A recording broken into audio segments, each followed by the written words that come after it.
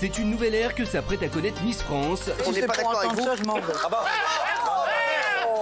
N'en déplaise à Geneviève, les règles du concours vont radicalement changer. Nouveaux critères d'âge, de taille et même de sexe. La présidente du comité Alexia Laroche-Joubert entend bien dépoussiérer le concours. Est-ce que si euh, un homme qui est devenu une femme euh, et qui a un état civil féminin peut participer au concours euh, Miss France J'ai répondu, en tout cas, il peut parfaitement s'inscrire. Ouverture du casting aux femmes transgenres, mais aussi aux femmes mariées et aux mères de famille. Même du côté des anciennes Miss, ces nouvelles règles font débat. Si t'es mère de famille, tu peux pas être Miss France. Au quotidien, c'est impossible alors tu ne vois pas ton enfant pendant un an. Et les nouveautés du concours ne s'arrêtent pas là. Il faut désormais faire plus d'un mètre 70. Les tatouages sont acceptés et il n'y a plus de limite d'âge pour se présenter. Isabelle Morini-Bosque a donc toutes ses chances. Pas du tout, j'en avais pas l'intention. Suite aux différentes polémiques discriminatoires, vous l'avez compris, aujourd'hui le concours Miss France se veut progressiste et ouvert. Je suis plutôt quelqu'un à l'écoute des changements de société. J'aime la modernité de l'approche de ce concours tout en préservant les fondamentaux. Pourtant, cette édition 2023 ne verra finalement pas de candidate transgenre puisque Andrea Furet a été éliminée aux portes des demi-finales du concours Missile de France samedi dernier. Ça m'a quand même permis aux gens de me connaître, de raconter un peu plus euh, mon histoire. Samedi 17 décembre, les Français devront élire parmi les 30 prétendantes celle qui succédera à Diane Lair.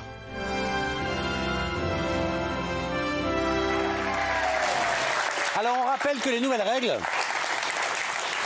Les nouvelles règles, effectivement, on peut aujourd'hui être âgé de plus de 18 ans, mesurer au moins 1m70, hein, c'est désormais pour passer Miss France, être de sexe féminin à l'état civil, uniquement euh, civil, donc c'est-à-dire qu'on peut être transgenre, effectivement, si l'état civil est féminin. Les candidats ne sont plus tenus d'être célibataires, voilà, donc elles peuvent avoir- même avoir accouché aussi, avoir des enfants, et les tatouages sont désormais acceptés. Alors c'est vraiment la question qu'on se pose, hein. est-ce qu'on peut finalement maintenant être euh, Tout ce qu'on veut. moche et être Miss France, je ne sais pas, mais donc effectivement transgenre, le débat. Alors je sais que Jean-Michel, toi tu faisais un peu, alors, un peu sardou. quoi.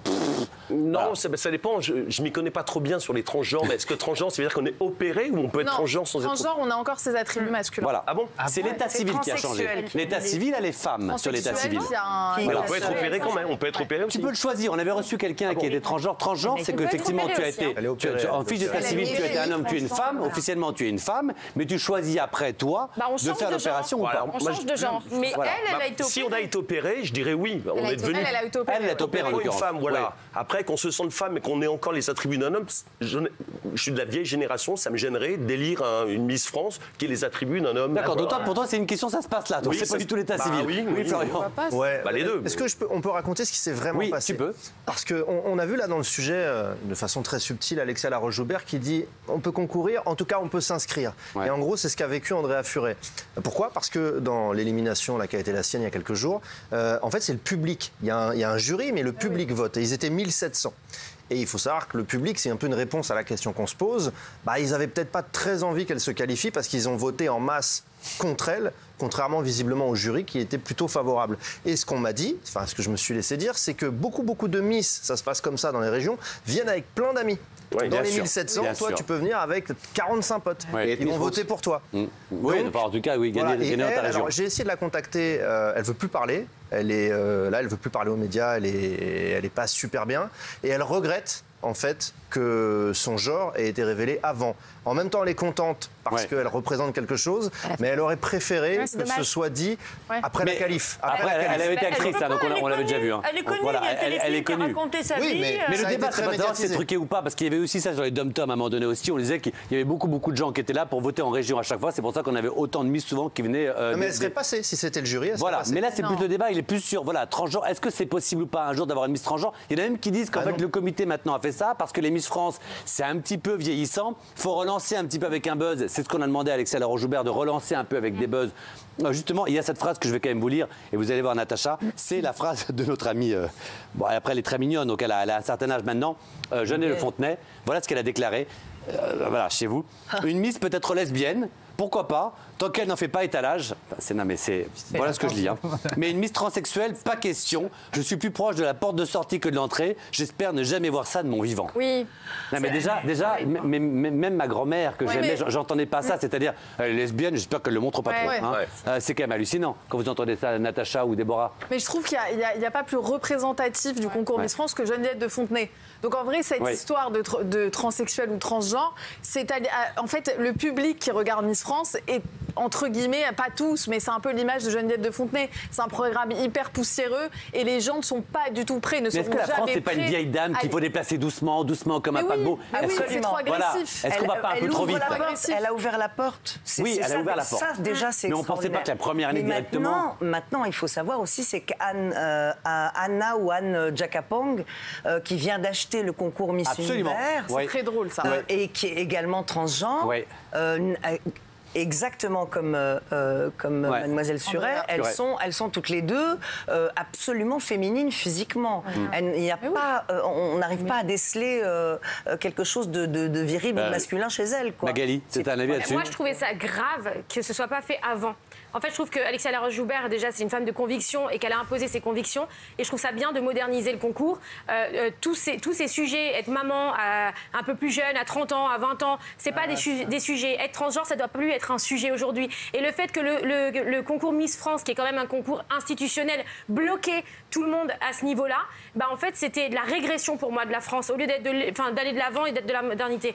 Donc, Bah dis c'est donc, bien. Magali. Oui, mais alors C'est sont les grosses dans ce cas-là Enfin, pardon. Moi, mais, moi, je vais vous euh, dire, moi, je vais vous dire, sur, voilà, sur les, oui. sur les transgenres, je suis assez d'accord avec toi. On En revanche, sur toute l'ouverture qu'il y a, sur Oui. on peut, avoir- on peut être un peu pas très grande, on peut être un petit peu forte, faire du 52. Ce qui est un peu agaçant, c'est qu'on laisse entendre qu'aujourd'hui, tout le monde est beau. Or, beau, pardon, c'est un métier. Il y a des gens qui font énormément de travail pour être beau. Tu vois ce que je veux dire? Qui font attention à ce qu'ils mangent, qui font attention à ce qu'ils vont au sport, qui... et c'est plus récompensé ça aussi. Enfin, j'en sais rien. Il y a des femmes Non, qui sont mais, en surpoids euh, qui alors, sont et- Pardon, excusez-moi. Il y a des femmes qui sont en surpoids et qui sont très belles. C'est horrible ce que je dis. Non, mais tu vois ce que je veux dire. Oui, Tu comprends, comprends c'est quand même. à toi, Mathieu. Il y a des hommes qui aiment les femmes fortes Mais oui. Oh, sauf moi, Sophie, je suis dans la merde. Oui. Sophie. Ah, ah. Non, et là, j'allais dire à peu près la même chose. qu'il y a plein de filles qui sont très curvy et qui sont très jolies. Et après, pour les transgenres, je pense qu'aujourd'hui, c'est pas possible. Parce qu'effectivement, c'est une émission euh, un peu regardée par les vieux, voilà, à partir de, on va dire, 50, 60 ans. Mais en revanche, les jeunes, les enfants, nos enfants, transgenres, pas transgenres, ils en ont rien à secouer. C'est-à-dire, pour eux, c'est même pas un sujet. C'est-à-dire que dans leur école, dans leur classe, maintenant, aujourd'hui, quand on a voilà, 20 Oui, ans, vrai. 15 ans, Les jeunes ils s'en foutent, mais complètement. Mais là où je te rejoins, c'est que mes neveux, maintenant, quand tu leur dis, je, je vous promets que c'est vrai. Un jour, j'ai dit à un de mes neveux, mais j'embrasse, c'est pas dire non, il serait fou. J'ai dit, mais t'es, gay, t'es pas gay, t'es muchou je m'en fous. On s'en fout. Je m'en fous, je pense que pour être un garçon, une fille, c'est. je- Mais c'est pas un sujet. Il n'y a plus de mots sur ce qu'on mettait nous. C'est pas un où sujet. effectivement, nous alors- du doigt. Moi, j'aime bien avoir quand même un avis. J'allais dire d'une autre époque. Lolo, toi qui étais sur TF1, toi qui regardes les, les Miss France, honnêtement, Bah, moi, je suis pas fan du concours en général et je trouve que de classer des femmes qui se ressemblent globalement toutes euh, pour savoir qui est la plus belle, c'est pas mon, c'est pas mon style de beauté et c'est pas le genre de programme que je regarde. Ouais. Donc déjà, one, deux, que ça évolue, tant mieux, mais il y a encore beaucoup d'évolutions à faire. Euh, ce qui est marrant, c'est de voir Elodie Gossuin qui dit, par exemple, on peut pas être maman et être Miss France. C'est assez bizarre d'abord parce qu'elle a cinq gosses elle-même et qu'elle sait ce que c'est que la maternité. Mais justement, c'est pour ça qu'elle Et, et- et deuxièmement, quelle bizarrerie de dire ça. C'est-à-dire que tu dirais à n'importe quelle femme qui fait un boulot, qui pendant un an la prend vachement, t'as pas le droit d'avoir d'enfant. C'est hyper t'as le droit de- pour la femme de dire T'as le droit d'avoir une activité professionnelle qui te prend beaucoup de temps et être maman, Non. heureusement. alors, Miss France quand- et, et, et le Dégossoir, qu'on recevra bientôt cette émission. Et sur le Je suis débat très des content. transgenres, je suis tout à fait d'accord pour que ça évolue. Déjà, d'autres pays l'ont fait avant nous. On sait qu'en Espagne, ça existe depuis plus longtemps. Donc voilà, il n'y a pas de, pas de sujet pour moi là-dessus. Et ce qui est vrai, c'est que souvent, d'ailleurs, il suffit de la France, quand je dis que c'est une vieille dame, il faut souvent regarder ce qui se passe en Espagne, Oui, Belgique, oui. on et, vous allez voir que dix ans après, on va souvent faire la même chose que. Mais juste deux mots. Alors, un mot et puis on conclut. Juste deux mots, le principe de réalité. Si Elodie Gossuin dit ça, c'est justement parce qu'elle a quatre gosses. Et qu'elle sait très bien que c'est infernal à vivre pendant un an et que ses enfants peuvent Non, mais pas ça, ça la regarde pas. Elle avait pas quatre- Mais ça la regarde pas. C'est le choix de la femme qui a ses enfants de faire ou pas une activité professionnelle. C'est comme la dinde à Noël. Tu n'en as pas forcément envie, mais si on te l'enlève, tu seras furieux. Et enfin, en troisième position, il y a une vraie ambiguïté parce que est-ce que Diane Furet, le, public l'a bloquée parce qu'elle est transgenre ou tout simplement parce qu'il ne la trouvait pas assez jolie? Il y aura toujours cette ambiguïté sur ce C'est un autre point-là. débat. Tu vois, on voit, on oh, malheureusement, accepter, faut les accepter. générations un petit peu plus, avec tout le respect que j'ai pour toi, âgées, Et, regardez. Chalmers, ce qu'elle a pris dans la gueule en disant elle a pris 2 kilos et tout le monde lui est tombé dessus, la pauvre malheureuse. Alors, qu'elle Dany est Montflorian, solide. en passant le Un débat. tout petit ouais. mot, ouais, pour Ouais, revenir sur l'aspect poussiéreux du, du concours qu'on Ouais. évoquait. euh, Il y a un symbole de ça, c'est même si je l'aime beaucoup et on l'embrasse, Jean-Pierre Foucault, qui est l'animateur de Miss France, c'est pas l'animateur le plus jeune, le plus moderne et qui donne envie au, au concours. euh, non mais je- Ah bah tiens, l'adore. pour une passage, il a rien Non, mais- compris. Non mais, Ah. je- non, non, mais ce que je veux dire, c'est que euh, Miss France, euh, il y a pas longtemps, Voici a dit que Jean-Pierre Foucault allait dégager, il Ouais. allait plus présenter Miss France. C'est pas vrai, c'est faux. Non seulement il le garde, mais en plus il considère qu'il correspond à l'image Ouais. du concours. Eh oui. Donc ça répond à la question, c'est-à-dire qu'on n'est pas prêt, le public n'est pas prêt à élire un transgenre. Mot de la fin, Jean-Mi. Oui, puis je voulais relativiser un peu ce que disait Sophie. Il disait que ses- enfants sont foutés, elle habite dans un bel arrondissement parisien, etc.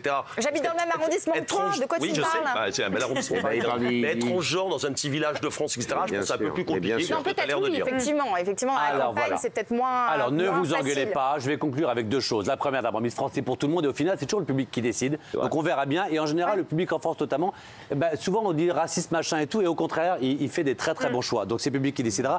Et puis je vais finir par une petite vanne, parce que j'aime bien les anecdotes et vous savez que vous êtes friand. Euh, la meilleure vanne que j'ai entendue cette année, c'est quand même Jean-Michel, qui habite un quartier de Paris que je ne dirais pas. On peut dire l'arrondissement ou pas? 15e. Il habite dans le 15e, il promène son chien et les gens dans la rue l'arrêtent et ils disent Vous prenez votre chien? Et il répond Non, non, non, c'est quoi, c'est quoi la vanne? Non, mais il- non, ils me disent, vous habitez Ah oui. dans le quartier? Ah oui, Non, vous j'habite à le bout de Paris, mais j'ai mis il pisse que dans ce quartier, donc je le ramène ici, c'est tout. Eh, Génial celle-là vous habitez le quartier Non, non, pas du tout. C'est que mon chien ne pique que dans le 15e. Moi, j'habite plutôt. Euh, bon, on passe au, au-